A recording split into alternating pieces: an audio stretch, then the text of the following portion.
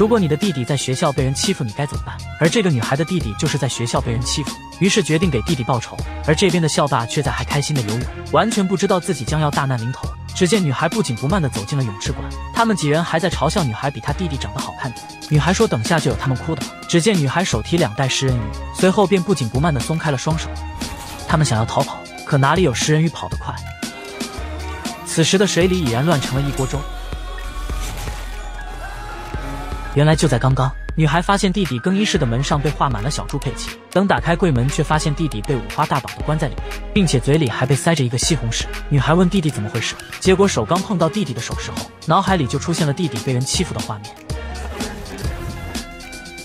女孩发誓一定要为弟弟报仇，于是就有了开头的一幕。那么问题来了。你想和这样的女孩做朋友吗？这个七岁的女孩已经三天没杀人了，于是她把目标对准了自己的傻哥哥。她把哥哥骗到电椅上后，用皮带捆住他的双手，接着扣上一个锅盖，怕电的不够彻底，然后准备拉下电闸通电。可就在这时，老妈突然出现，在得知女儿要杀了傻哥哥后，她非但没有阻止，反而嘱咐女孩要玩的尽兴点。得到妈妈的鼓励，女孩立马拉下电闸，脸上露出了开心的笑容。而妈妈也是满脸享受的在一旁看着。女孩名叫星期三，生平最大的爱好就是研究亲哥的各种死法。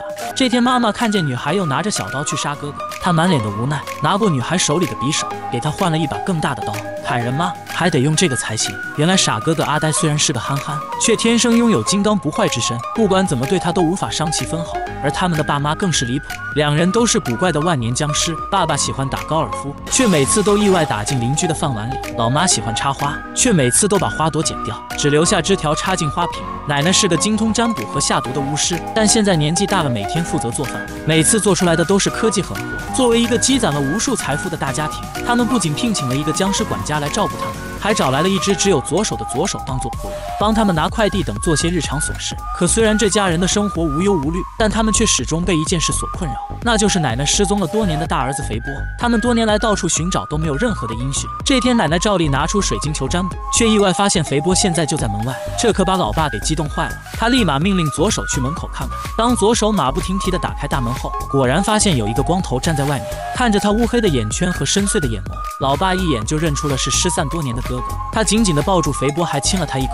而这时，一个女人走了出来。她自称是肥波的养母，说在三十年前是她捡到了流浪的肥波。虽然历经千辛万苦把他养大，但现在理应让大家团聚，享受天伦之乐。老爸瞬间被感动得稀里哗啦，二话不说就送了一吨金币给他。可女孩却隐隐约约觉得有些不对劲。结果到了晚上，肥波打开行李箱，里面根本没有行李，竟全是一些炸弹、电锯之类的武器。而这时，老妈刚好走了进来，肥波瞬间以为自己要露馅了，可没想到老妈却不以为然，把这些东西当成了见面礼。还拿起一瓶毒药对肥波说：“这个口味的孩子们都不爱喝，家里还多的是。”等到老妈走后，肥波才松了一口气。原来他只是个冒牌货，正在筹划一场大阴谋。他其实是个小混混，和养母在一起放高利贷。前几天在律师家要债时，律师意外发现他和肥波长得十分相似，于是三人便想出了假装认亲这招，约定偷走所有财产后平分。第二天起床后，肥波提出借口熟悉熟悉环境，结果没想到老爸自告奋勇当向导，并拉着他去金库参观，当着。面就把密道给打开了。走进密室后，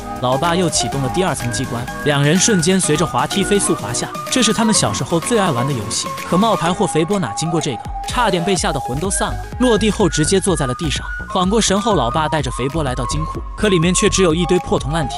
老爸说这些都是两人从前的玩具，在他心目中就是至高无上的财宝。随后他焦急地四处寻找，竟无意间打开了桌子上的机关，无数的金子闪闪发光，看得肥波眼睛都直了。他刚想伸手去拿，结果机关又启动了，把肥波转回到密室。不过既然知道了位置，全部偷走也是早晚的事，只是时间问题而已。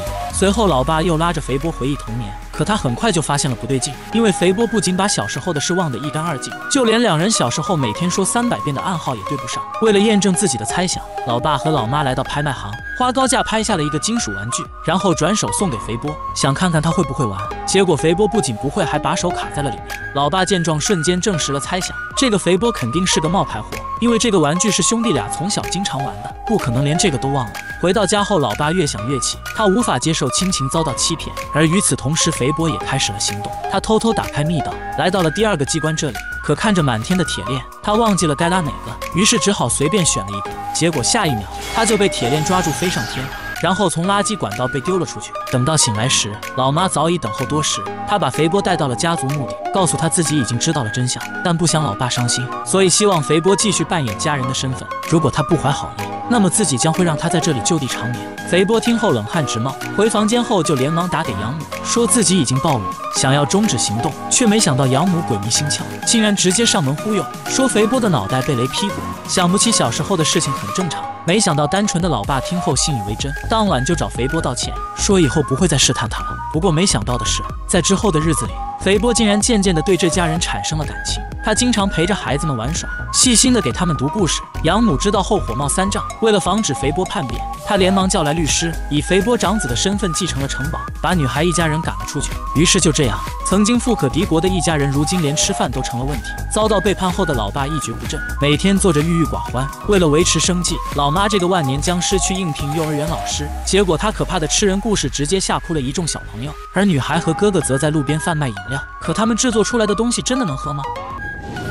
最后还是左手扛下了所有。凭借自己的速度和努力，他成为了一名快递员，每天疯狂送货，勉强维持着一家人的生计。男人的手机居然掉出来好多金币，这下发财了。于是男人赶紧用垃圾桶来接，不到一年的时间就接了满满一大桶金币。只见他往衣服上一扔，原本杂乱的衣服秒变整洁，自己搬不动的垃圾也可以用金币直接传送到垃圾桶里。喝完的牛奶也只需扔一块金币，秒变满满一大瓶。见冰箱里没有喝的，这好办，随后放一块金币在里面。下一秒，冰箱里满满都是雪碧。随后又来到厨房，将没洗的餐具瞬间变成新的。接着又看向没写的暑假作业，金币一扔，嗖的一下，这下交给老师就放心了。见花园已经枯萎，扔一枚金币进去，秒变小绿化。原来就在刚刚，男人接到了一通神秘电话，神秘人叫男人按下手机上的金币，那么金币就掉出来，而且还能实现你的各种愿望。男人不信的点了下手机金币，下一秒金币果然掉了出来。于是男人看到了微波炉的爆米花，想了想便将金币给扔了进去。没想到下一秒就能直接开吃。接着男人就将手机的金币翻倍，下一秒就掉出了无数个金币。蠢女人半夜点了一份外卖，打开的时候盒子里居然是空的，就连订单是无字的那种。而外卖盒上赫然写着三个大字：想吃的写下来放进去。刚想打电话投诉，不料电话居然也是空的。反正闲着也是闲着，便随手在纸上写了他最爱吃的烧烤。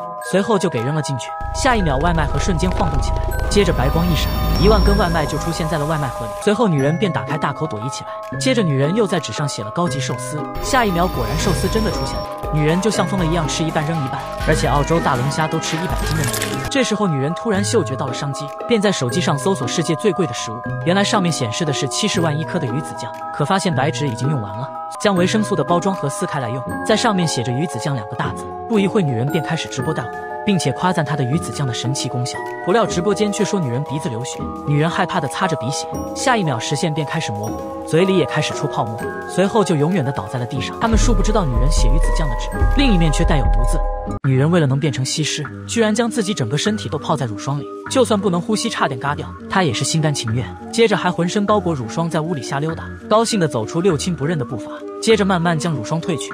没想到整个皮肤都是白里透红，我的天呀！就连嘴里那个二十颗大白牙正如此的好看。女人看到自己如此完美的美貌，激动的差点嘎了过去。原来就在几天前，别人都是肤白貌美的大长腿，而自己却是个不受待见的丑小鸭。但是她无意间看到美女们居然在偷偷用乳霜，于是女人便花了所有的积蓄，花了九块九买了一整箱的乳霜，随后就迫不及待的打开涂抹在脸上。可没想到别人都是白白嫩嫩，而女人却是满脸红疹。一开始女人还以为是正常现象，于是用了半年后，没想到整个人跟个鬼一样。晚上女人来到仓库，没想到里面居然站着一个全身涂满乳霜的人，并且还和女人做着同样的动作。随后女人就像丢了魂一样，于是就有了开头的一幕。随后女人剪掉了自己的长发，并且化上了美美的妆，戴上眼镜谁也不爱，并且也成为了几个白富美的羡慕对象。